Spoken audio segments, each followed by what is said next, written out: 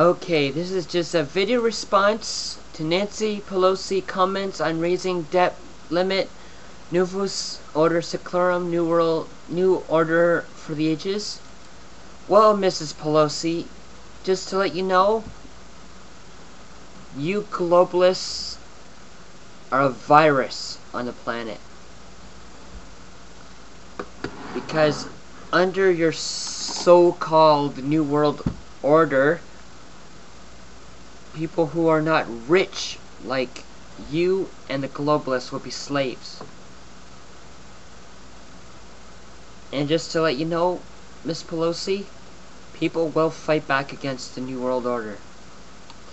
And no. You say the Novus Ordo Seclorum was actually invented by the Founding Fathers? It wasn't founded by the Founding Fathers at all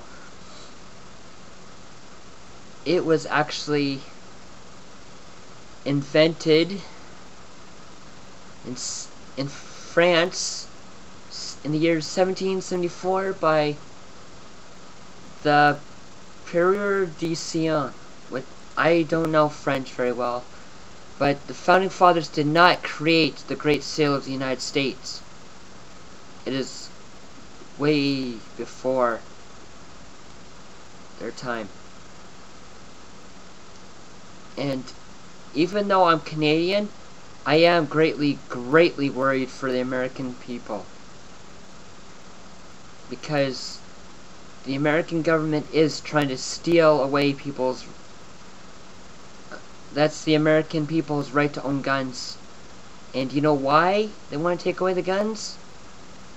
It's because they have they'll have no way to fight back once martial law hits.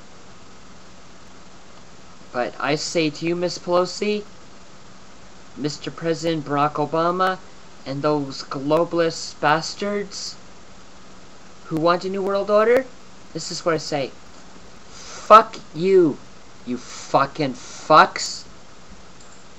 And stop infringing on the rights of the people in America, Canada, and worldwide.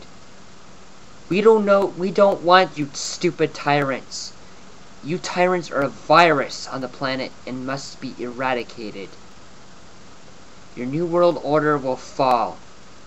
I guarantee it.